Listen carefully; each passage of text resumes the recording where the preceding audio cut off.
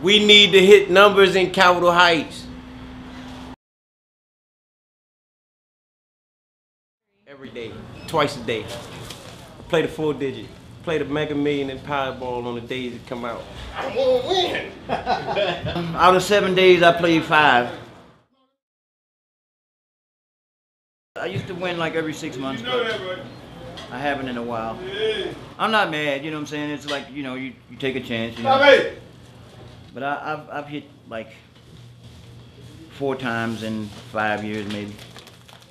And, but it don't equal out, you know. I still come up on the losing end. But it's gambling. Oh, You take chances. Usually when I don't concentrate on it is when I win. But whenever I play it and then think that I got to go check the number tonight, I never win then. It's when I it's when I don't think about it and the next day somebody might mention it. I say what and I haul ass down there and get my money then. You know what I mean? Everybody wants to win, but I like to. I like to gamble. I like to gamble every now and then. Haven't been up live yet. I'm gonna check y'all out too.